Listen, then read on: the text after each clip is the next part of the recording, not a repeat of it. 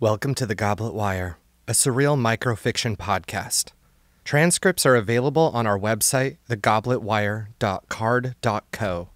This is episode 1 Ocular Metamorphosis, written by Justin Hellstrom.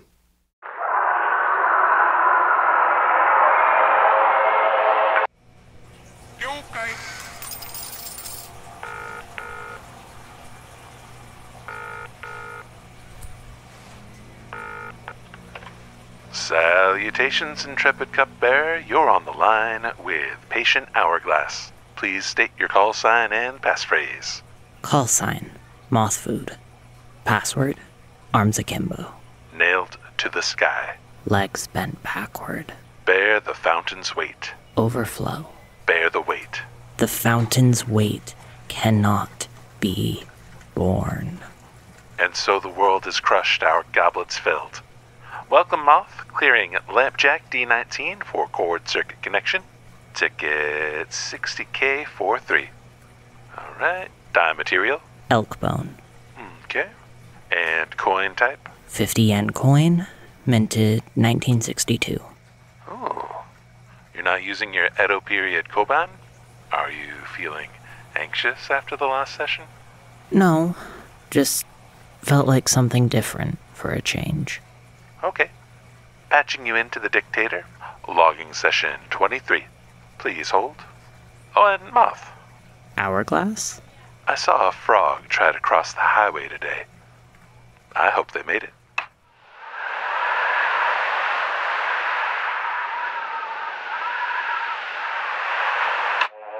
The cargo ship slides firm across the sea as a blunt rectangle, a sepulchre stacked with oxidized containers of faded colors from faded nations.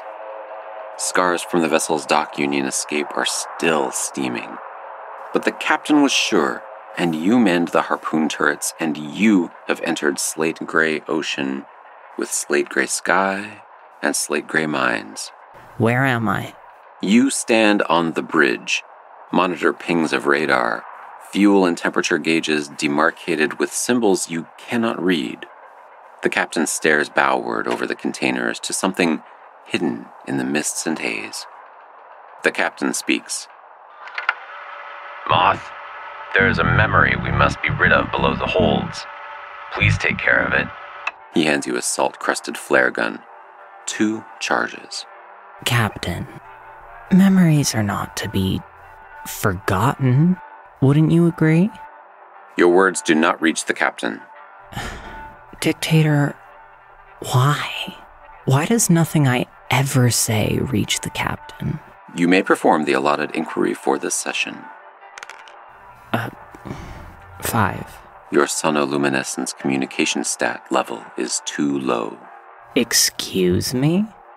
The captain's brain is underwater. There wasn't any kind of sonoluminal comm skill or whatever in character creation.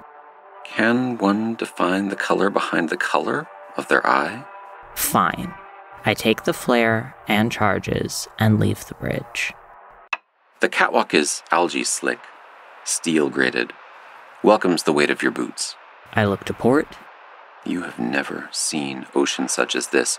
Words come to mind sleet, Adirondack, infant skull at the bottom of a pond.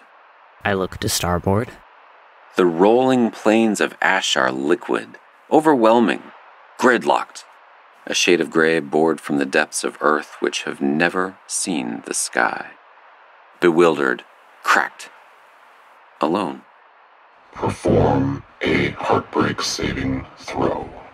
Heartbreak? Yes. The sea has gazed upon you, sensed weakness, that hole inside your chest. The sea seeks to fill it. At No. Flip your coin. For it is on such an edge, all hearts are balanced and wagered.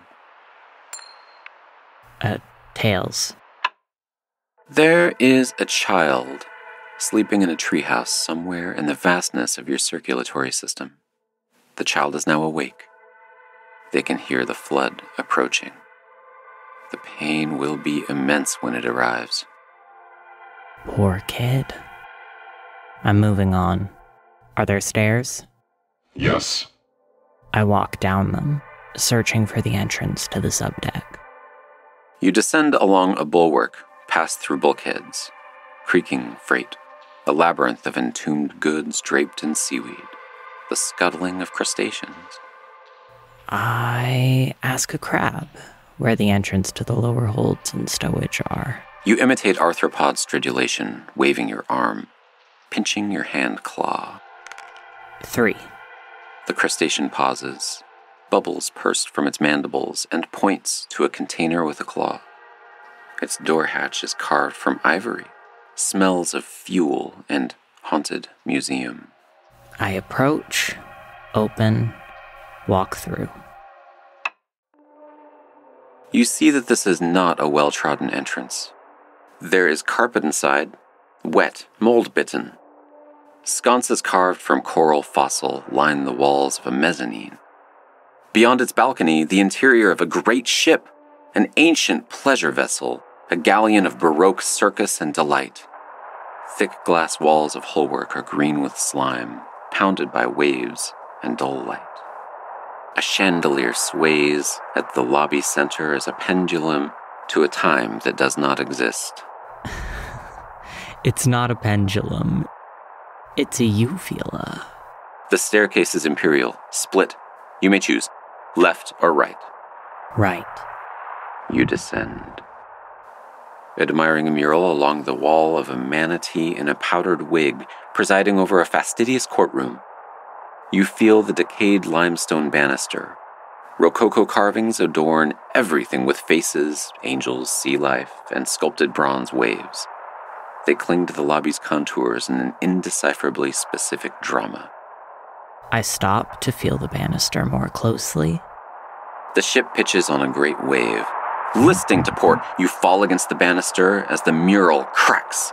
The manatee breaks loose and plummets, passing judgment upon you for trying to decipher the indecipherable. You have five seconds to react. No, I accept this judgment. The manatee is rough, hard plaster weighted by beam and heavy iron nails. You are knocked through the banister and fall. Hit the lobby floor, thankfully rotten, concave from the weight of a harpsichord. You break through, fall further, passing networks of inverted aqueduct, aquariums with classical composers, and splash into a moat on the Orlop deck. You're giving me anxiety. That child in the treehouse sees the flood, a river churned by mud, roots, and mobile homes. But the pain has not come close to arriving. What do I see around me? Have I retained the flare gun? The liquid is acrid, muted turquoise. Your flare gun is still intact. The charge is dry. I crawl up the far side of the moat, inspect my surroundings. Words come to mind cenote, sinkhole, ocularium. Light emanates from the moat, illuminates a drained dome at the center, a tiled chamber for an immense hippopotamus. More words come fetid, albino, low tide styrofoam. Bound by chains which are sunk and fused to its spine, the creature swivels its head to you.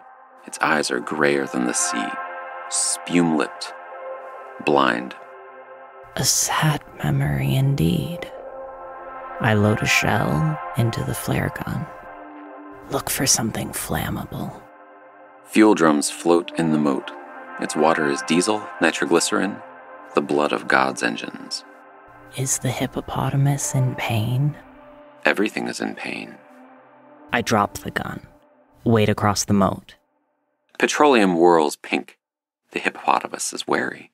Performs a threat display of open jaws and cracked tusks. I. I want to be the hippopotamus's eyes. I want to be its vision. Trade our sight. Brave move. Please confirm desire for optical transfiguration. Show me the color behind the color of its eyes. Check success. Ocular metamorphosis complete. What do I see? You expect Grand Mal Delusion. Apotheosis, a tunnel of angels bored through heaven with slick gilled antediluvia from Eden's untamed past, mating wild and saber sharp and shore broken across the throne of eternity. But you see nothing. Nothing. You are blind. Shit. However, you do begin to feel. Sense static, magnetic laminar flow. Hear the chains break, the lumbering of great weight.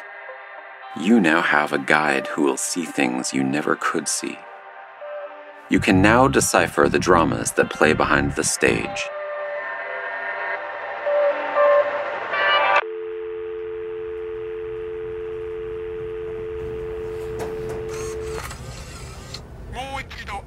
To the world and its many hearts laying in the balance.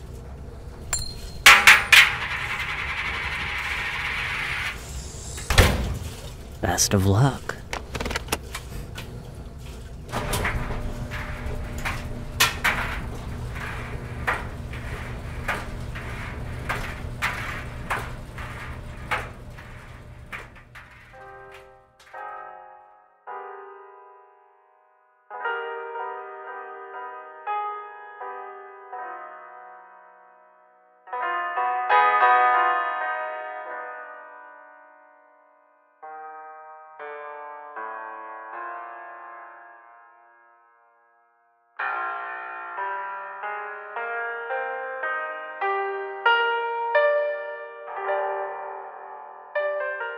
This episode was written by Justin Hellstrom.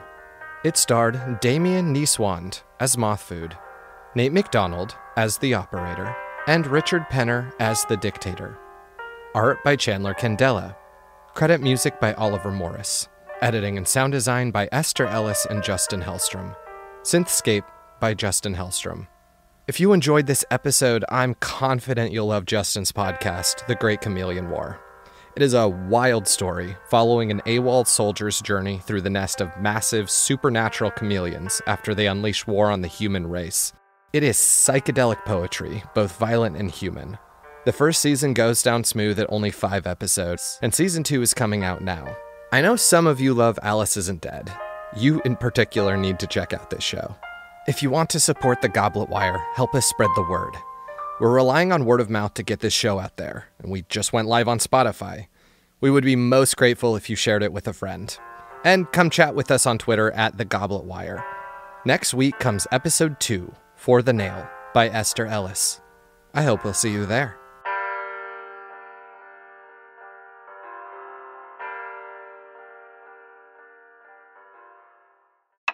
Are you playing?